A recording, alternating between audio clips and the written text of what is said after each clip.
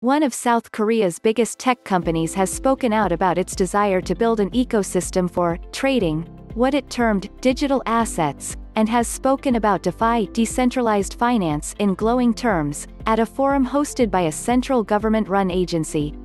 The comments were made by GroundX, the blockchain subsidiary of Kakao, which operates the KakaoTalk chat app, which is used by some 44 million South Koreans.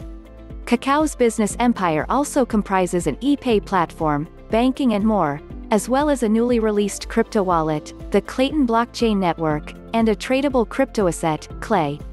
Per FN News, GroundX's business lead Lee Yoon-ho spoke at a fintech seminar hosted by the Korea Internet and Security Agency KISA, the government's tech arm, stating, Lee also hinted that the Klaytn platform was open to expanding its DeFi-related interests, a hint that Kakao is also hopeful of jumping aboard the increasingly lucrative decentralized finance gravy train.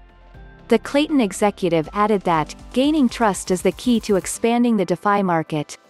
He also opined that DeFi and decentralized crypto exchanges had the potential to outperform centralized services in the payments, mortgage, loans and exchange sectors. Lee also spoke about Kakao's plans to expand the scope of its own Klip wallet, allowing it to support tokenized copyright-related documentation, as well as bonds, derivatives, coupons, goods, and non-fungible tokens NFTs. He stated that the firm intended to allow users to trade these digital assets on its Klaytn platforms.